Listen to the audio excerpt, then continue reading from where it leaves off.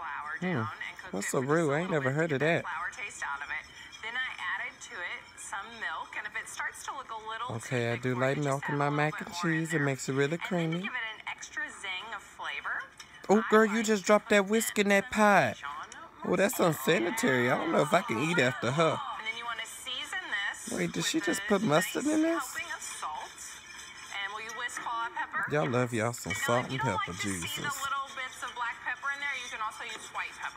What? Girl, that is not a thing. Who says they don't want to see their pepper in their food? Child, pepper is pepper. Nuttiness that. It's a great melting cheese.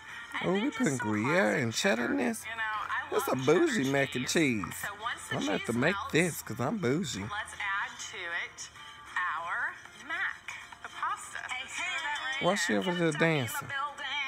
Lord, I hate people that sing and dance every time they do something. Girl, just put the damn pasta in there. Cooked in salted boiling water. Oh, that looks so good.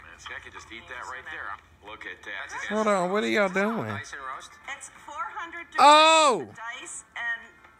Uh-uh, don't you put them Brussels sprouts and squash in there? Oh!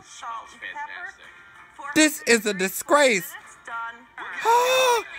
I don't even like vegetables in my chicken Alfredo. Oh, what happened to the black lady? Black lady, come back. Come back and fix this. Oh! What is that? When did white people start locking cornbread all of a sudden? That's a black person thing, I thought. Oh! Oh, Jesus. Y'all didn't even put it in the oven. I should have known this was going to be some bullshit.